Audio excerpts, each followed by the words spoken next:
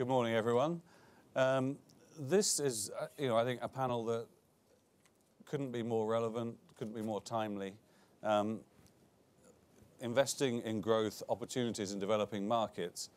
Um, uh, the Economist, I think we share the view of a a lot of uh, commentators that this growth of emerging markets is gonna be the big long-term story of the first half of the 21st century, and that the rise of the global middle class, the rise of prosperity, Uh, for all sorts of people that were previously outside of that, uh, the good life, is gonna be a great story.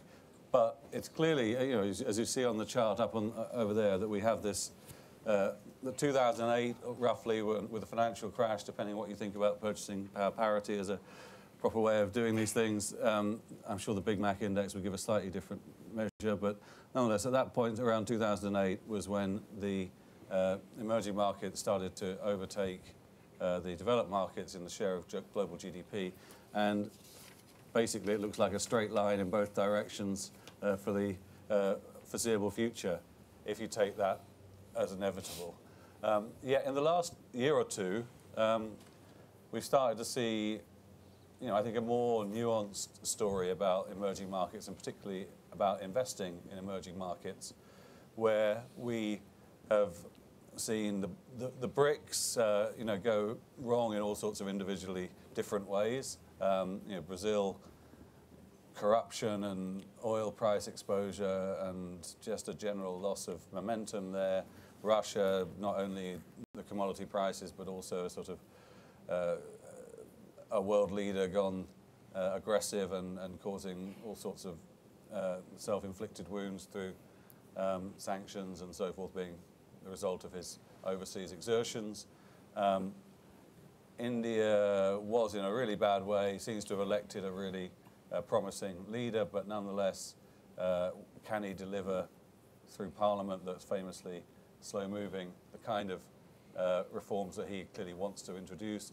And then China, which seemed to be sort of bulletproof in a way to the global economic trends, also seems to be entering a period of, yeah, what is clearly gonna be transition. is gonna be difficult transition, and the great concern that we're, everyone is having at the moment is how how much of a drag on economic growth is the really fundamental transition going on in its economy actually going to have?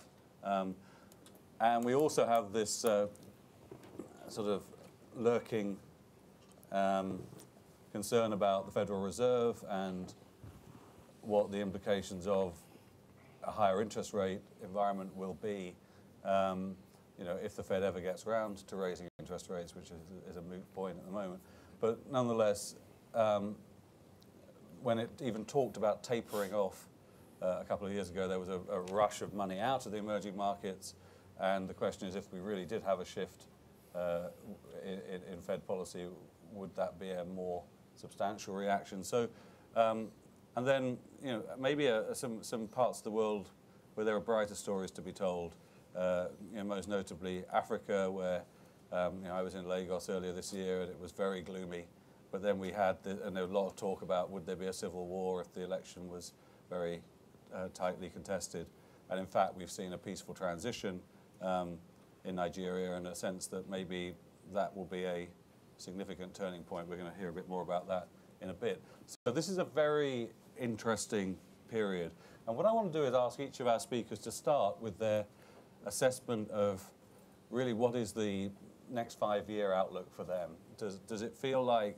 You know, I think all of them will say positive long-term things about the emerging markets, but what's the, what's this near to medium-term outlook for the next five years? And I want to start, um, we actually, unfortunately, had a last-minute dropout from the advertised panel, that John Powers couldn't make it here this morning. But we're really delighted that Mark Cutis has been able to step in at short notice, and thanks, Mark, who is Chief Investment Officer for Special Situations at the Abu Dhabi Investment Council, and so brings the sovereign wealth fund long-term perspective to play. But Mark, I wanted to start by asking you for your, you know, highlights of what you're most worried about, optimistic about. You know, how does the emerging market story look to you over the next five years?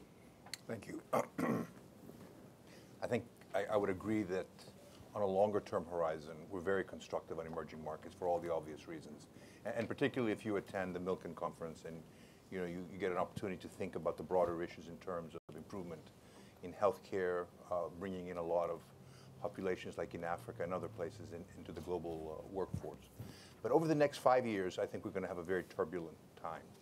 And clearly, you you have a very peculiar situation where the so-called risk-free rate is zero, which has caused a lot of distortions in the markets.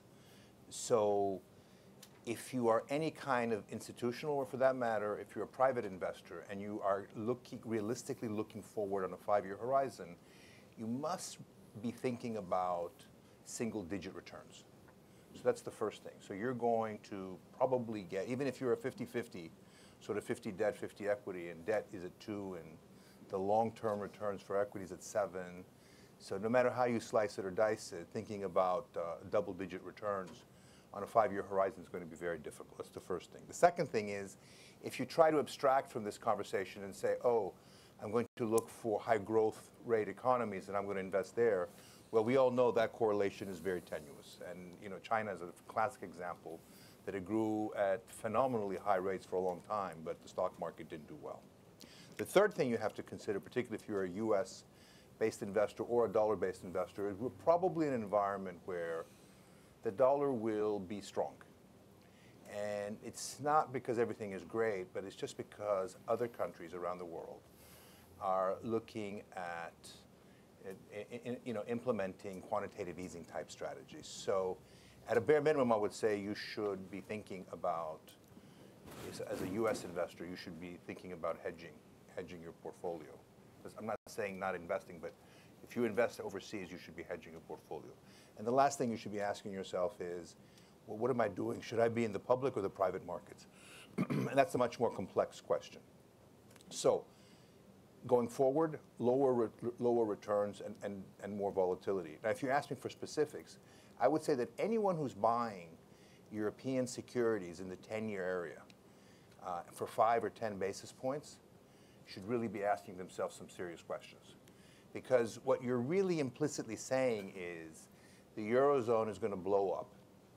And this is the Armageddon trade. And then I would ask you, okay, let's assume that's correct. When are you going to liquidate that portfolio? Because most investors who will take sort of that precautionary view are not in a position to actually trade out. Trader types who are in the market every day can trade around these kind of positions. But if you look at the the decimation that can happen to you if your portfolio, let's say you buy it at 10 basis points and rates double to 20 basis points, it takes like, I don't know, 30 years or whatever to recoup the loss in principal. So I would stay away unless you're in some one of these risk parity trades where you, you, I'm sure you've heard of these trades where you have uh, the four quadrants and the, and the different uh, and the levered positions. But absent that, I would be very careful about owning European securities at extremely low rates or, or negative rates. The other market I would think about carefully is Japan. Japan has uh, embarked on a classic reflation policy.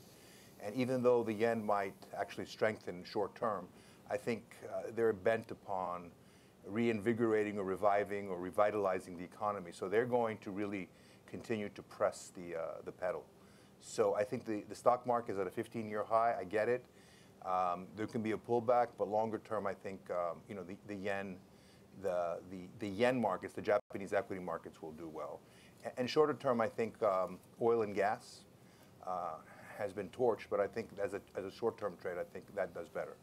But overall, uh, we're constructive on the emerging markets, but we're very selective, and we believe that this is the kind of environment that you have to pick countries and pick strategies as opposed to saying, I'm investing across the just across the board. Okay, we'll come and dig into the specific strategies in, in a few minutes. But um, Juan Sartori, founder and chief uh, executive chairman of uh, Union Group, based out of Uruguay. Um, I mean, Latin America seems to also, as a, as a overall economy, have uh, hit some serious problems. I, I remember a few years ago we had an economist cover celebrating the takeoff of Brazil, which we illustrated with the, the statue of Jesus sort of flying up into the atmosphere. And then a couple of years later, we, we had one where it goes into a horrible tailspin. Um, and it seems like you know, things just keep getting worse in Brazil.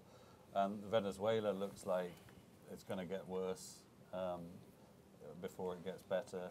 Uh, Argentina, you know, we've given up thinking whether it can get ever going to turn around there. It just feels, as, a macro story, the big economy is doing quite badly, and even Mexico, which you know is a relatively strong story, there's still a lot of you know sort of sense of how fast are things really going to improve there. How, how bad does it look from from Uruguay? And uh, are you uh, uh, are you as gloomy as I sound? No, well, la- la- last year the economy selected Uruguay as the best country in the world. That's remember? true. So I think that's a very bad sign for us. but be, beyond that, you have today in Latin America, you can put it in three very different buckets. The, what we call the giants, Brazil and Mexico, slow growth, uh, structural issues, I mean, a, a lot of corruption scandals, leadership credibility problems that are making that investor flows are not coming there. And as they are never really high growth economies, investor flows, like, like, market, like Mark was, was saying, determine over and under valuations over cycles. So it's cheap today with big problems. When investors come back, I think it's going to pick up quite quickly. But it's not a place that today is very attractive from a fundamental point of view. On the other side, on the smaller countries, you have the, the dark side Venezuela, you know, Venezuela, Argentina, Bolivia, Ecuador. I mean, we expect uh, Venezuela to probably default in the next uh, year. Uh, civil war, any situation is possible. Venezuela, talking about the worst. Argentina has elections in uh, one year, uh, October of this year.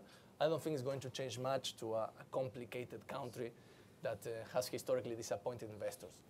The Bolivia and Ecuador has have long-term leadership there with, with significant issues. So we don't expect that to improve in the short term, and I don't think it's part of anybody's investable universe because of the high political risk. However, there's a whole part of Latin America that is the, the Pacific countries, Colombia, Peru, Chile, and I would add to that Uruguay and Paraguay, who have found their place in the, in the world economy. They have all reached investment grade.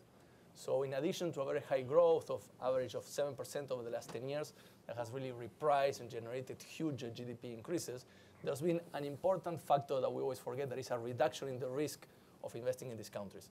It's particularly important in investing in, in infrastructure, for example. If we assume uh, credit ratings and an investment grade is the best way of comparing political or investment risk, we have now better risk in this part of Latin America than in many countries of developed Europe, for example. And the trend is definitely in the favor for these countries. They are receiving more and more investor flows. The growth is there. The valuations are attractive. So it's a place that we believe we were asking over five years. We think these countries will continue growing, maybe not 7 8%, but 3 4% with a lower uh, level of risk. We expect over five, next five years the, the dark side to collapse by its own uh, weight. Uh, that would create an opportunity. We are sure about it, we are looking at it, but it's a longer term one. The recovery of these large economies of Venezuela, of Argentina, that eventually have a lot of wealth to be created in there. And then the, the developed countries, uh, Brazil, Mexico, more driven by investment flows. Uh, the BRICS, you know, this, this way of just focusing on a, on a single emerging market trade and saying Brazil is the same as Russia, the same uh, than India, I think it's finished for the next five years. And I totally agree that's going to be more picking and going into the details of each economies. But definitely, if you pick the right place of each of these continents, higher growth and higher returns expected than what we are seeing over five years in developed economies. And how do you feel about Cuba? But I, I love to, I was there uh, uh, less than a month ago, you know, for party. and uh, for partying. For but but the, the, the opportunity there is that the US is going to lift the embargo, uh, is going to come back into the international community, no doubt about it. But how is the internal system going to change? Uh, when I was there, you go to the hotel, to the restaurant, to the fuel ta- station, everything's government owned. So there's no real way of playing it if the internal political system doesn't change, uh, doesn't allow for private ownership. So a good place for holidays for the next five years, but I don't see big, big uh, changes internally there. Great. Well, let's let's switch to Africa. Um, yeah, I think back in 2000, The Economist ran a cover, "The Hopeless Continent," which uh, got us a lot of criticism, but I think did capture the mood in Africa or the, the world's feeling about Africa at the time. And then in 2011, we ran a, a different cover called "Africa Rising," which I think was a very optimistic view of of Africa as, as maybe on the threshold of, of the sort of dramatic uh, modernization and integration into the world economy that maybe many other emerging markets had experienced before. And since 2011, I think we've become, again, a little, the, the, the, story's become more nuanced again. It feels South Africa seems to be wobbling a bit in sorts of ways. We've got resurgence of violence. And we have Nigeria, the, a huge economy that, that seemed at times to be about to really power forward. Um, now, um, you know, a new government in place, um, but still lots of terrorist risk, and then this general problem of the oil price having fallen. Um, we see Shell and others today saying they're cutting back on their investment there. Um, so Brian, um, ABC, Brian, uh, Brian Orjiako, the chairman of, of, of Seplat Petroleum, how, I mean, you've, you've been in this industry, you've been in Nigeria uh, as an oil guy for a long time. How does it feel to you? Africa rising? If so, how strongly is it rising? And how much is the short-term uh, outlook you know, clouding your, the story? Uh, thank you, Jonathan. I think Matthew. The, oh, Matthew. My colleagues, Jonathan, who you talked to the I other was day. just going to say my, my, my tale of two economists, Mm. journalists. I was with Jonathan over the weekend, and now I'm with Matthew, both of the economists uh, newspapers. Basically, I think the Africa Hopeless Continent and Africa Rising is very apt in describing what is going on at the moment. I think the Africa Rising is obviously well positioned. It basically places Africa as the right destination for investment today, and the reasons abound for this to happen. Obviously, the reasons why he talked about the hopeless continent about 10 years ago, indeed about 15 years ago, have all changed. We're beginning to ch see changes in the landscape politically uh, in, in that sense. And you mentioned Nigeria, the election recently, and the outcome is an eloquent testimony that things are changing. At the time he spoke about the hopeless continent, there were just about three really free uh, uh, democracies in Africa. There were stories of wars, stories of corruptions increasing. And today, many of those things are changing. We're beginning to see quite a lot of things change in Africa. Better uh, economies are emerging. The population is young, strong workforce, very strong entrepreneurial spirit. A lot of the countries are beginning to show real, genuine reforms that are really transforming the continent. Eight out of 10 of the fastest growing economies are in Africa. And obviously, these are speaking volumes about things that are happening. Now, with respect to Africa rising, I think the way to look at that is you are now beginning to see a lot of people embracing the change, but that does not mean that things have really come to where we want it to be. What it means is all those good things need to be consolidated and built upon, and then those who are not changing should begin to change. Now, I take it from where um, uh, Mark spoke when he said, investment in Africa, they are very constructive and selective. That is quite true. I think what is happening is all those countries that have taken the right step, especially with respect to transforming the government, making sure that the issues that are talked about in Africa, corruption, are being addressed and very positively so. Not just by saying it, but basically palpably doing things about it. That will create real, the right political will to do things. We're beginning to see Africa countries really embracing real reforms. Nigeria, for example, the gas reform is a huge catalyst for growth and investment. The, the pension reform in Nigeria has actually occasioned quite a lot of availability of capital within the country and indeed Africa. Now, the next way to look at it is look at the corporate entities. Because obviously there are various, uh, several billions of investable capital that are really looking for where you have headroom for growth. And obviously, Africa is a great uh, uh, entity for that to happen. But you have to create the right environment. And this is where the government comes into play. They need to really embrace the right political will to begin to address issues of corruption, subsidy, and putting in place those environmental factors that will let the investment flow. At the corporate level, the real message to give is once you have a company that is properly governed, strong corporate governance, good, diverse, and experienced board, very professional and experienced management team, those are the things that are required. And then, of course, you take it to the next level. They need to bring themselves to the level where investors can see it and capital to flow. And, and basically, I like to give the, the Seplat example, and obviously so.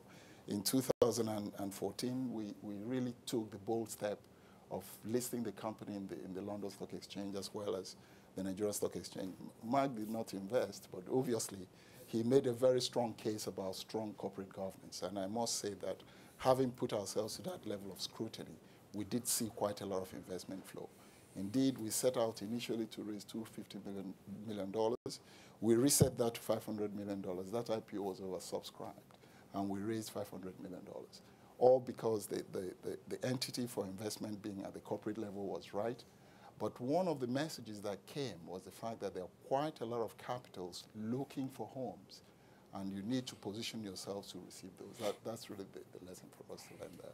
So going forward, Africa remains a very strong entity for investment. I hear when you one spoke about the BRICS, that obviously has given way to, to, to the main economies, and Nigeria being one of them. One of the challenges that still remain today is the fact that in Nigeria, economy has been rebased, biggest in Africa. There are still challenges, but the good news is those challenges, for everyone you see, there are at least two or three opportunities for growth. I, I think I'll, I'll stop so far. So Jay Ireland, I mean, GE has uh, uh, probably of all the big global powerhouse companies that come out of America has, has really pinned its colours to the mast of emerging markets, not least by taking senior executives such as yourself and moving you to Africa, and where you're now president of GE Africa.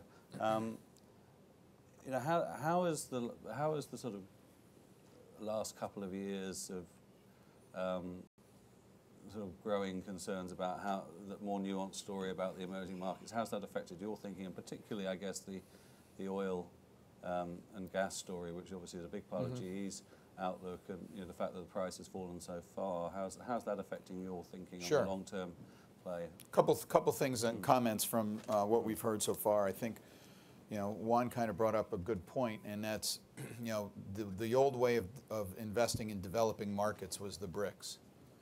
And the brick, you know, when you when you're sitting in Africa or Latin America, as Juan described it, you know, I don't think of China and India, Brazil and Russia as necessarily developing versus what where we're sitting. Now I know that we're the frontier markets, but I think from an investor standpoint, that was the easy way to do it. You had four big countries that you could follow pretty well. Now they've got their issues, as you hear, and, and now the next level is you got to know about 100 countries. You got to know about the next tier, as Juan said, in Latin America. You got to know about you know different ways to invest in, in Africa, et cetera. I think so. That's that's one thing that's changed dramatically. Two is what Mark talked about was public or private. Uh, he he kind of went through pretty well on the public side. I think the private side. And that gets to answer your question, which is the way we look at it, which is investing our capital from the standpoint of where we think growth will be. We're in, you know, 140 countries around the world. Uh, we put a big focus on on emerging mar- on, on emerging regions, and, and in that are different countries. And if you look at the underlying growth of these countries, as Brian said, in Nigeria, tremendous change just occurred a few weeks or a month or so ago, and we're going to see changes there. We're starting to see it broader across the continent as well. And I think that's where you've got to think. So when we think about going into a country, we look at it in a few different ways. One is obviously what's the economic potential from the standpoint of what we sell, um, uh, and is, is the country big enough, et cetera. But you look at the rule of law, the corruption, the, the, the ability of, eh, one of the things that I think has gone unnoticed is that through the elections that have, that have occurred since the beginning of the, of the century here of 2000 is that you're seeing, as from a business perspective, changes in the leadership. Sometimes parties change and sometimes just the leaders change. But most importantly, the business community doesn't get impacted. The new guys don't come in and throw out all the contracts from the last administration. That's a huge, huge aspect from, from the standpoint of confidence. Uh, so I think that's so those are those are some some things we look at, and then obviously where where we feel that what we will do uh, will get recognized and you know and focused, and so we're we're focused pretty much on, I'd say 12, about 10 to 12 countries in Africa, um, and we look at it from a standpoint of of obviously uh, we we invest there, we invest in facilities, we have assembly facilities now in in Nigeria, um, in uh, Angola, South Africa. We'll soon be putting some in Ethiopia, service facilities in Ghana, and Mozambique will be a new one as well, and, and Kenya. So, so those are kind of where we really focus. And then we look at what the underlying infrastructure is, not the physical infrastructure, which is key, but most importantly, the skills, the skills building and capacity building infrastructure.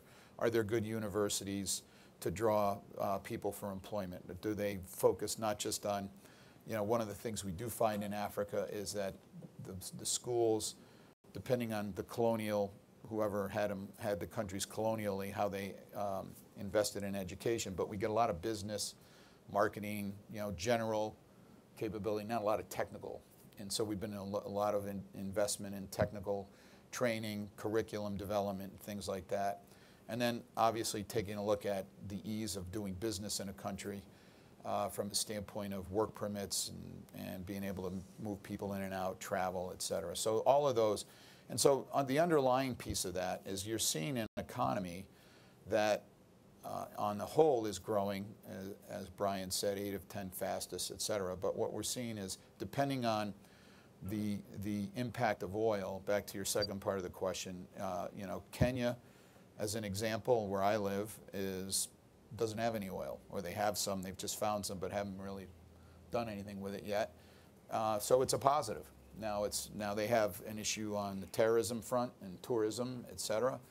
Um, Nigeria, obviously, uh, the oil price was a shock. Angola as well. I think it did a wake-up call a little bit for Nigeria. And, and we were, Brian and I were talking, from 1980 to 1996, the average price of a barrel of oil was $20. Went down to 10. Uh, from 96 to 2006, roughly 50, which is where we're at today, spiked to 100 for four years. So everybody, oh, the oil, it's been, we've been operating on $50 oil for a long, long time, and that used to be a good price. And it's just the perception of what, what, you know, what, what has happened in the last four years and how countries and companies have, have reacted to it. So I think the aspect is to, to really focus in on Nigeria, yes, they're, you know, the budget's got to be cut. They're going to cut back on capital spending, but there's 150 million people that, you know, wake up every morning and they want more goods and services, they want more infrastructure.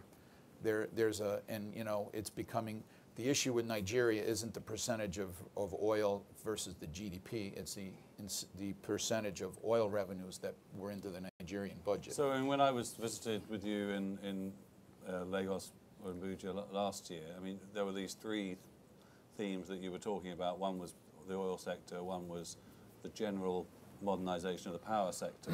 yep. And then the third was the healthcare sector. Mm-hmm. And I mean, have you reweighted your investments for the next five years in those across those three sectors? Well, those those facilities, uh, we're still investing. We're, we're putting a, a subsea oil and gas equipment uh, facility in in Calabar, Nigeria. We're continuing to do that. We're doing the same thing in Angola. These these are you know we've been around a long time as a company. You see cycles. If you stop investing at the bottoms of cycles, you'll never get it at right at the top. And you've got to continue to, to invest your capital because the long-term view is, you know, we're going to be in Nigeria for, we've been in Nigeria for a long time, we're going to be in Nigeria for a long time. We've got to continue to invest. Now, it's our job on the ground to take that facility, and if we don't have the oil and gas equipment that can fill it, we go look for other things. There's no, you know, we can do a lot more uh, on the continent from a standpoint of our power and water business, uh, from a standpoint of servicing and healthcare. A lot of stuff gets shipped out. We can start doing a lot of things internally. So there's a lot of things that you can do, and I think it's up to the companies such as ours to adjust and, and work that way. But I think the, the, the, the, gener the general investment, you still have to, you, you have to hire, you still have to hire good people. You can't, everybody, we do the same thing. It's one of my real bugaboos. We put in hiring freezes. And you sit there and you go, well, now you, you've basically eliminated. What you should be doing is readjusting your workforce, not, not freezing it. Because the workforce you have now is all of a sudden there's a lot more people out there that might not have been, that are good, that might be wanting to change some thoughts about what they want to do. This is the time to be hiring. And, and readjusting and dealing with you know the people that you don't need in your workforce. So I think that's the balance that you got to think long-term investing. And then one, one other question for Jay, and then we'll, we'll move on. But I mean, the, how does China look, look for you at the moment in the next five years?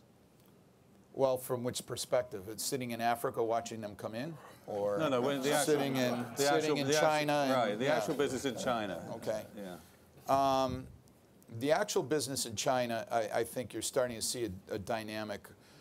Um, they're continuing to invest in higher tech um, in, in our, our arenas, you know, healthcare, aviation, local transportation, et cetera. And, um, and so we're going to continue to see that. So we're seeing, uh, I think, the big infrastructure boom that occurred, you know, building 100 airports and rail lines and all that have, have stopped. And what I, my thesis is, quite frankly, what we're seeing now is the state-owned enterprises are still being re, readjusted, if you will, and recalibrated. And they're now, as domestic growth slows a little bit, uh, are looking at Africa as the next real growth area for their state-owned enterprises for products.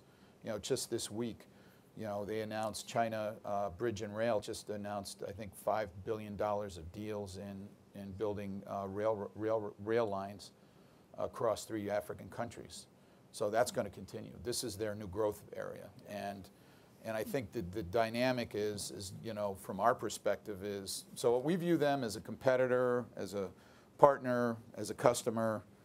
You know, it's one of those multi-headed um, relationships, and uh, and so but the growth there is is still strong, but uh, you know we'll, we'll to see it'll be on it's at a different scale. So, Mark, I just wanted to pick up on, uh, uh, move on to look at the how how how we should be thinking about this big commodity cycle and oil and gas within it, because obviously, as you look across the emerging markets, I mean that is a huge differentiator. What view you take on, you know, is the commodity boom really over?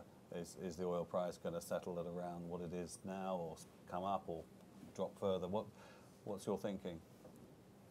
So over long periods of time, you've exhibited a decline in the uh, real the, the real price for commodities, Uh, and we know that as you know fr- from history. So you, but in this decline, you always get these periodic booms, and I, you know, and I think as an investor, at some point you have to decide: Are you prepared to play those booms? Are you prepared to try to you know, for instance, if you look at what's happening in, oil, in the oil and gas space in general today, a lot of securities have, have essentially been regurgitated because institutional investors have sold them willy-nilly, and you're able to acquire quality assets through the debt, and you know, at the very interesting prices, and that's because people have said out, you know, just sell. In Africa, you have the same thing. You have companies that have had uh, tremendous financial strain. So you're, you know, you should be looking at these opportunities today because it's not like the price of oil is suddenly going to drop to 20. What's fascinating about this business? You might have said that when it was at 100. It's not Yeah. going to suddenly drop to 50. Why, why is it not going to drop to 20? Well, it can do anything it wants to, but the question is, at 20 or at 30 or at 40, you know, countries like uh, India that import a lot of oil, uh, you know, it still is the engine for economic growth. So I, I don't see oil really staying at, if it drops to 20, I don't think it will drop to 20. We think it may go to 40 or 45, but ultimately it's going to probably be in a band of 55 to 75. But the, what's interesting and- fascinating about our business is whether it's people getting hyped about Brazil or oil, you go through these phases where people get just super hyped. So they talk about Brazil and it's the next, you know, amazing thing. And then we turn around and say, oh, no, we, we know we got to get out of Brazil because, you know, they've discovered this thing. It's the same thing with oil and gas. How many people told us that oil was, what, what did they call it, peak oil? And we had all these uh, analysts who were talking about $200 oil, and you know, and now you have this hue and cry, which is, oh, now we're going to 20. So no, that's not the case. But do you feel you have to look at emerging economies? You have to look at, you separate out the commodity dependent ones from, Yes. the, from the others? Absolutely, because then it's ultimately a question of governance too, because countries that are dependent on commodities, if the governance is not in place, then you're dealing with a different set of factors. And, and I think this is what uh, Jay was alluding to, that, you know, Kenya doesn't have, doesn't have a lot of resources, but it has kind of institutional mindset to do things, and they've become a leader in IT and the digital space. I mean, if you think about banking, Africa is redefining banking, right? I mean, if you look at how much is going through this M-Pesa, through their mobile payment system, I think the numbers are staggering. It's like uh, every three months, I think it's the size of the GDP. So there are some amazing things happening in countries Right. that don't have resources. There's 61 million, there's 61 million mobile money users right now in Africa. And these aren't all of the high-end people. These are all the way down into villagers, et cetera. And I think that's a key. We had a long discussion yesterday in a session about it. And that, that um, innovation is really driving a lot of, a lot of potential growth from that standpoint. And, you know, I would, I don't know what, there isn't any mobile money to speak of here. And so that, that's, a, I think, a tremendous uh, leapfrog, as, as Marcus said. Brian, you wanted to come in, yeah. Yeah, yeah, just speaking about the, the oil price and, and the real impact in Africa, I think for me, the low oil price that virtually collapsed is a wake up call for Africa. It is the time to begin to tap other opportunities in Africa. It is the time for diversification of the economy. It's the time to begin to balance the budget not from oil, but from other things. It is the time to, to remove subsidies. It is the time for Africa and particularly Nigeria to be thinking about export of products, not crude oil. It is the time to really see Africa as the real frontier for demand. Because if you look at the oil price, the, the, the, the supply and demand fundamentals, the real culprit is not the oversupply of, of crude oil that, that's been orchestrated by shale oil and gas, but it's indeed the declining demand, especially with, with, with the, the, the contraction in Asia. So what Africa should do is to now create that new frontier for demand, and, and the opportunities are there.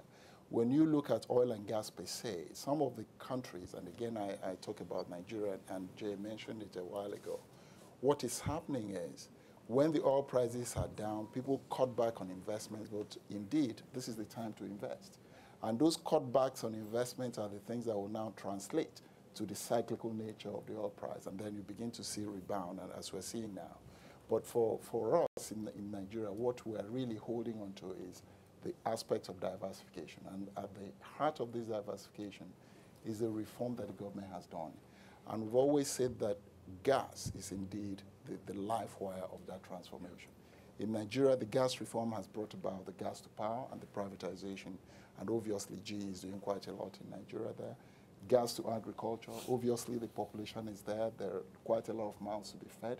So fertilizer is, is a key thing. Unemployment is key. So gas to industry is very, very important. So I think going forward, the opportunities remain there, and the entities and the environment politi- politically will definitely need to be addressed too. So Juan, I, I, I, Warren Buffett likes to say that when the tide goes out, you can see who's swimming naked. And you know, Brazil and the oil price, I think, is a is a maybe a sort of classic illustration that he's right. You know, it's revealed tremendous political problems within the country. Do you see any silver linings in Brazil? And on the other hand, you know, if you look at a country like Chile, how is that, despite its dependence on the commodity cycle, how has it been able to remain one of your stars that you're being optimistic about? I- we, we have, a- as a, as a company, a different view. We believe Latin America is a commodity producer, will always be a commodity producer, and it's the only chance of being the best in the world at something. I don't think we can evolve into a technology uh, society in the very short term or in the medium term. So what we focus on is countries that have a competitive advantage in producing something. Uh, of course, Brazil's oil production, uh, 3,000 meters under the water, 2,000 meters under the salt, has a cost of production that is not the most attractive uh, for, for them. So that's going to be very challenging. However, Brazil is the biggest and most efficient producer of soybean, of uh, beef, of a lot of other, of iron ore, of a lot of other commodities that, regardless of the price, is going to give them an advantage over other zones in the world. Um, Chile is uh, maybe the only example that has been able to diversify slightly its economy, but mainly by providing more added value to commodities. Now they've produced uh, wine, uh, blueberries instead of pure soybeans or wheat, something that is a bit more advanced in terms of the, of the added value. So oil is something similar. I give you an example as a, as a firm. Uh, Uruguay is one of the biggest exporters of food in the world. Uh, we've been buying uh, land in Uruguay at prices 10 times cheaper than you can buy, buy land here in the, in the United States. We deployed almost a billion dollars in farmland in Uruguay. Today we are one of the most efficient exporters of rice, soybean, beef in the world as a, as a company. We are uh, talking about oil. Oil is down to $50. I think that's going to bring also a lag on the reduction of cost of production. Yeah. Then the last three years was exploded beyond any reason. Cost of production comes back to an average historical rate. $50 is a good price. So we, we closed, uh, it was announced yesterday, one of the biggest um, uh, oil exploration blocks in Peru. The valuation six months ago was $200 million. We bought it for 17 million yesterday. Is that reflective of really the fact that oil is never going to come back and it's never going to be a profitable business of producing oil there? I don't think so. So currently the opportunity is a mix of determining in Latin America which continent or which country has a competitive advantage on something, agriculture in Uruguay, maybe copper in Chile, maybe lithium, I was talking this morning in Bolivia, that you need for all the, the technology, and then making sure you are buying it at a very low price. And when do we make good, uh, good price in Latin America? When foreign investors suddenly flow out and get a bit scared, like it's happened now in Brazil. Uh, Brazil, the currency is down 50%, the market is down 30, 40%. So you're buying something 70% below the price that it was one or two years ago.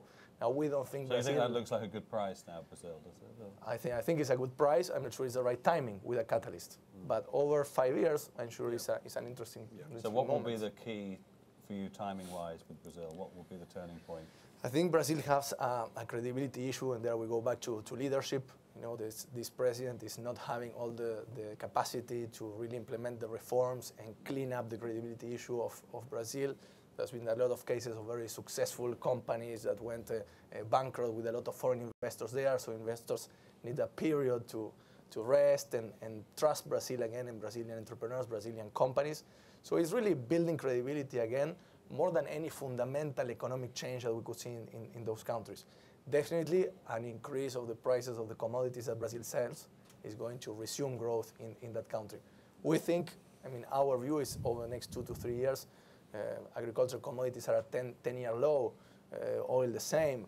Uh, there's been an absolute increase in, in population, in demand, in a lot of factors that, uh, that we believe will bring prices back to a more historical average than they are today. Okay, we'll go to questions in a moment. I just want to ask one more question around, you know, if you're investing as an American, or do you, do you invest in the public markets? Do you, do you try and do private market investments?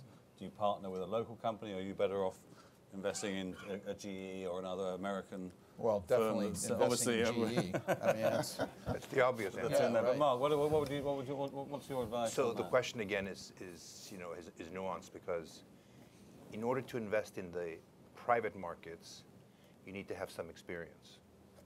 And it's easy to say, oh, I'm going to invest in a PE fund because historically that's an extra 500 basis points. Therefore, if the long-term returns for equity are seven, I add five, I get 12. That's doesn't mean that everybody's going to get 12. You know, you need to be in the top quartile. You need to know how to pick managers. That's a complex strategy. So ultimately, each organization has to be honest with itself and ask itself the, the, uh, the seminal question: What am I good at doing? Can I pick managers? Can I pick, you know, illiquid strategies? Am I able to survive with illiquid strategies? Because we went through this brutal period in 2008, 2009, and you had many institutions that were not able to fund their private equity capital commitments. So that's a tough, that's a tough call. It, ultimately, if you're not sure, you're better, you're, you're better off staying in the private markets, and then, and I use the word dabbling carefully, and then experimenting a little bit, using your organization to learn how to invest in private markets, because the off liquidity. staying in the public markets, but Yes, a little bit of a little private, bit, just yeah. to learn. But you can't just deploy large amounts of capital in, in private markets and then say, oh, I'm going to do much better. You can get into trouble. But let's say you are a, a, you know, a seasoned private investor, you'd be better off there, would you, generally? Yes, absolutely. Now, today, what's fascinating about what's happening today, given that interest rates have been suppressed, you have a strange phenomenon where you're not getting as much as before for illiquidity premia. So today, you can paradoxically, you might say, in Brazil, to Juan's point, in Brazil, you're better off being in the equity market. By the way, the, the companies in Brazil, let's put aside Petrobras, which had, uh, which was run by the state and had a lot of heavy state interference. Private companies in Brazil actually have high levels of governance. So you can make a case that yes, I'm going to make an investment over the next five years in Brazil. I'm going to go with with uh, private companies, and I don't necessarily have to buy Vale or Petrobras. I can just buy, I can, I can just buy the companies that service Brazil. I mean, this is a huge economy, right? And it's not just, I mean, oil is sort of icing on the cake for Brazil. They have minerals, they have sunlight, they have water, they have land. I mean, Brazil is an amazing story. You've just had very bad governance in the country. Good football, good music. Good samba. Good. You, I mean, you obviously are, are going to echo the view that private is, is the better strategy. But within Yeah, but- that, where, where are you focused? Is land the best way in? in But I agree that we've been in a, in a strange situation where people suddenly are so afraid of the volatility and the mark to market of some things that they almost prefer to invest prefer to invest in a private company even though it's a higher valuation. It's a premium to illiquidity. Yeah. Opposite always we, we always learn. Yeah. So it's a situation of if you have a five to seven year view, I rather have the mark to market not involved in my investment decisions because we've made bad decisions precisely by going out at the wrong time, getting scared in the wrong time. So we see a trend. Uh, our investors are mainly pension funds, insurance companies, family offices. So when you have a long-term investment horizon, liquidity in the middle is almost perceived as a risk instead of an opportunity. So, so there's moments to, to watch those relative valuations, private and, and public, a bit more. But Brian, if we wanted to invest in Nigeria at the moment, best best strategy? Best strategy is the private private space uh, for obvious reasons. The main message is good governance and discipline. I I spoke about it earlier on, obviously because of not very high confidence in the past. All of those have changed. When I spoke about SEPLAT, one of the things we've, we've done and prided ourselves about is the strong corporate governance and discipline. So that's a public we- space for yourself, though, right? Not well, private. it- well, we started from private and then went Yeah. public. But what part of the things you do is when you invest in the private and then make that a stimulus to now go private, Yeah. to further uh, To consolidate and get and get public, and then bring uh, more investments in, into that space. That, that's the way to look at it. But of course, I, I, to- I spoke very strongly about the governance and, and, and the discipline. Hmm. When we did the IPO, one of the things that happened and one of the things we told the market was that we're going to acquire assets. But then what then happened, and this is where we really manifested discipline, we then participated in some bids with Shell, and, and we felt that the prices were not right and we didn't invest. Recently, again, we, we had an opportunity to acquire a company that was really on its knees. We looked at the fundamentals, we felt it was not right. Discipline, again, we cut back. So I think the, the, the thing to drive it, as I said, is, is governance and, and discipline. And Jay, I, I mean, a lot of your exposure is to to the infrastructure story. That's your bet. And I mean, infrastructure historically has just been dogged with political risk um, of all sorts, um, particularly in emerging markets. I mean, how, how do you feel currently about the political risks and how you manage that as a Well, I, I think if you think about risk, you've got a, nu- a number of risks when you go. I'll, I'm assuming you're hmm. talking about project financing and project investing. But just yeah, yeah. Okay, so, you know, you've got, obviously one is a security issue, which, which depending on the country and stuff, so that's one risk. The other one is political risk, you know, part of it is, is the, the rule of law and, and how you get contracts done, all that kind of stuff, but it's also whether the political party will stay there and will honor subsequent, uh, administ, or subsequent administrations will honor. And then you've got the typical credit, um, risk, et cetera. And one of the key things, which I think is one of the things we're trying to work on, Mark and I have been discussing it, is you've got a timing risk. And this is where I would say naive investors come in and think that you know they're going to put some money to work, uh, but the problem is getting projects developed over a period of time ties up your capital for quite a while before you get a return. So there's a timing risk tied into it as well. And I think that's one of the things that we're trying to do with at least the stuff that we're in is trying to shrink that shrink that timing. So the typical power project right now takes anywhere from five to seven years to go from development to getting power on the grid. And, and three to five years of that is fundamentally, you know, negotiations and underwriting and all of the, uh, it's not the building of the facility. That ap- actually is some of the easier stuff. So I think if we can shrink that down by having you know, an understanding of, of more standardized things from both sides, an underwriting capability, platforms uh, that you can bring financing tied into. I think there's a lot, and that'll really, in my opinion, catalyze a lot of the investment because of the power, power, take that as the infrastructure piece for a second. that's going to continue to drive economic growth, and I think that's the key thing. So you know, it's one of those. Is there a model there for that, or is that still being We're, developed? we're working it. Yeah. No, I wouldn't say there is right now. We're, we're trying to work it, um, but it's it's a difficult one because you've got to work a number of different players, and I think the the point is to to your one of the key points you made is is it's a long-term investment, and over that time horizon, am I willing to invest in country X or project Y for the next 10 years? Because most of the money right now, the longest tenor that you can get is maybe seven years, and so you're you know it's not the best the best use of uh, or it's not the best capital for a long-term asset like a utility, which is fundamentally or a railroad or whatever. So I think we're working that, and it's it's it'll take some creative people, and I think the first people in, you know, Cote d'Ivoire had a, they, they fundamentally run uh, their power uh, grid on independent power producers. And through the two years that they had a little bit, or a year and a half of like a civil war, the power never went out, they never didn't pay, and they continued throughout the whole time frame. So when you, when you have an infrastructure that's critical to the economy's performance, you will you typically get paid and, and so that's why I think a little bit of the view of what the risk is is probably perception is greater than reality.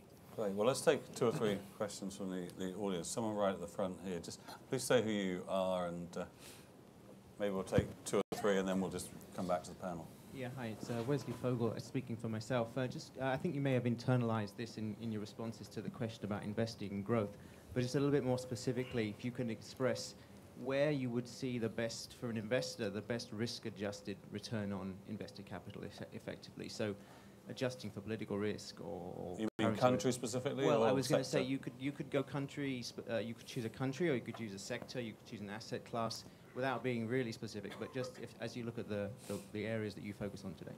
Great. And then we had someone at the front over on the left-hand side. Do we have a third person anywhere in the audience? Great. The lady in the middle, and then we'll go. Yeah, I also want to try to get a quick res- uh, response. from, you are as well. uh, uh, Keith Carson from California. Uh, realizing actual profits, most of you are in, in, in countries that are very volatile, but actually realizing profits after such investment as a result of having maybe corruption in government, actually being paid for the work you're doing. If you can just kind of quickly summarize uh, the, the countries where it's more uh, challenging than not. And there's a lady in the middle. Now you're going to test people's ability to remember all the questions. Uh, Georgina Baker from IFC. I wanted to pick up on what Jay was talking about in terms of infrastructure investing and project finance. Um, the, the needs for emerging market infrastructure are huge. There have been uh, large projects announced in both Colombia and, and Mexico, which can't possibly be met through public financing. Um, so what is needed to bring institutional investors into this space? So the pickup of uh, on project finance in OECD countries is now quite significant if you go into uh, into emerging markets. But the, the institutional investors, particularly the insurance companies, aren't, aren't don't seem to be interested in, in, in working in emerging markets infrastructure. So I wanted to ask the panel their views on, on how to make this happen. Well, why don't we take that question first? If we put chart five up on the, on, on the uh, screen as well, that would be helpful, which shows the sort of huge increase in infrastructure uh, needs. Just, uh, yeah, chart five, please. Um, so there's been a dramatic ex- uh, rise, and the question is, you know, what are we, you know, where, uh, we've had Jay's answer. I mean, Mark, what do you think in terms of what needs to be done to get much more money going into infrastructure? Um, actually, I was thinking about the question from the gentleman in the, Yeah. in the front row. So, We'll come back to that in a second. okay. but Can we just so you want how do you infra- the you infrastructure? so, I mean, picking up on Jay's point about infrastructure and the challenges of, you know, we all know there's a huge opportunity um, to, to and that and the massive infrastructure investment across the emerging markets ought to be happening if we're going to get them the kind of development and growth that is possible. So how do you catalyze that and, and Yeah, and it, it's it? not happening at the moment. I don't think like the scale necessary, is it? Well, I mean, actually, if you step back for a moment, uh, th- th- this, this country needs a huge investment in infrastructure. Right. So I would kind of turn that question around and say, what should happen here? You know, given the level of interest rates, what we should be doing in the States is mount, you know, r- borrowing money and mounting these huge programs to invest in infrastructure. I'm not But I trying mean, to the misgovernment of the United States is another Well, t- panel, I think. I'm not gonna dodge- Uh, dodge your question. Can we try I and wanna focus know what on the the, on next the develop- Let's look at the economist cover's gonna developing world. That. I mean, what's, what's going on in the emerging world? I mean, how do we get more, more money I think it will happen with time. I don't think there's like a magic bullet. I think, you know, as people do, to, to Jay's point about, you know, that the Cote d'Ivoire, as long as they're paying off their debt, as people get more comfortable mm-hmm. with infrastructure and countries understand that they have to honor their obligations and they actually, you know, live that, live that reality, I think you will see more money coming in because it's easy for someone to say, I'm building a road, I see it you know, I'm building a canal, I see it, as opposed to saying, oh, I'm going to buy Uber or I'm going to buy something else at mm-hmm. these valuations. So I think over time you will see, especially in this environment of low interest rates, more money going into, mm. into countries that respect rules. And do you, I mean, to pick up the gentleman at the front's comment, I mean, are you seeing an improvement in the ability to collect the money that you Yes, you've absolutely, from much, much more so. Mm-hmm. In general, you're seeing much better infrastructure projects today than you were seeing five years ago. I think from an investment perspective, you know, the pricing of infrastructure investments in Africa is, is very high. I mean, one, one of your colleagues. high, uh, One of, yeah. yeah, one of your colleagues said the IFC's performance has been equivalent with OECD as it, as it is uh, with the emerging markets, specifically sub-Saharan Africa, and, and a higher return. And so, you know, and I, I can tell you other, other ECAs have said the same thing, because they're the ones in there typically early. Um, and part of it's a combination of a few things. You think it's inve- some of these investments they view as risky. You know, they're backed by five different credit enhancements, sovereign guarantees. I mean, that's like, you know, It's amazing. yeah, Yeah, it's yeah. like no risk money. it's because If there's five ways to get insured about it. So, I why, so why is the flow of money not faster? Well, I, you know, it's. I think. uh, Look, I think it's. It's. We still need a continual flow, and I think it's partly is. It's up to us to make projects available. We don't have enough pro- credible project developers in Africa. We don't have enough EPCs that can do the work. No American EPC is really there. Black and Veatch to a degree. Some of the other guys come in under the LNG, under the oil guys, but fundamentally it's Chinese, Turks, and Spaniards that are in Africa. So I think it's more building out the infrastructure. A lot of it's dealing with the governments and trying to get projects through. So I think it's there. It's, it's one of these, just making sure that the understanding of what you're getting into and what the real risk is, is, is, is tied into what the reality is. And I think that's. Brian? If I may just make a quick comment, I think I hear the issues about confidence, the issues of rule of law, but a very large component of that is also the perception. There's quite a lot of perception about what is really the case. Quite a lot of the investors have never really even been to Africa. They don't fully appreciate what it takes to do business in Africa. But if you look at that potential for real investable capital flow in, into Africa, you find that even when you have the right regulatory framework, you still have people not being hesitant to those investments. The key point to make is the, the, the headroom for, for growth is very strong. The next thing is the return on those investments. I take gas, for example. Five years ago, gas price in Nigeria used to be less than 50 cents per million scarf. Today, the gas price in Nigeria is indeed higher than Henry Hub price. So you can imagine investing in gas infrastructure in Nigeria, your returns is much higher than what you would do if you did it in America. So I think it's a balancing between that confidence and the, the perception of what is thought about and what the real situation is. Okay, so what I want to now do, I mean, it's pre- our time is pretty much up, so I wanted each of you to answer the question we had from the front, which is, you know, what, what is We didn't answer it well enough at the I can beginning. try. Let What me is, try. the, what is it? I want your, your number one. Your number one. Um, No, I, I, can. I think I can answer through an example that we are doing part of the of the three three questions. We we're investing a lot in infrastructure in, in Latin America. What we are looking at from a very common sense point of view is first that the return is attractive for the risk that we are taking. So a lot of the, the countries are implementing uh, PPA programs at certain price and trying to build a, an incentive return to look at it. The second is I want to know that when we build it, the country is not going to steal it from me, because that has been the issue. You look at uh, Bolivia nationalized most of the power industry over the last five years. Venezuela nationalized the oil, the power, the agriculture industry. So it's a real risk that you need to trust, and it's not Argentina. There's a new government in six months coming and saying we are different. It's not going to be believed overnight. So it's a mix of a nice uh, return risk perspective with a lot of confidence on But the is it infrastructure that you would invest in, or? Infrastructure. Oh, but because So- that's your answer to his question. Yeah, for Okay. example, we see today uh, infrastructure as a fixed income proxy. fixed income is negative or zero with a government risk. At the end, infrastructure can give you a similar government risk, but with a, a multiple of the return that you get it there. So we made, for example, in, in Peru, a, very large investment in power generation. Peru uh, lacks the, the electricity coming into the grid, uh, issued a very good system of PPAs, 20-year power purchase agreements on hydroelectric dams, issued around $2 billion of potential projects there that generate a return at today's interest rates of approximately 16% on the equity. So we raised around $1.6 billion, mainly from uh, North American pension funds, to deploy into these constructions. And most of the debt, uh, 15 to 17 years, came from multilaterals.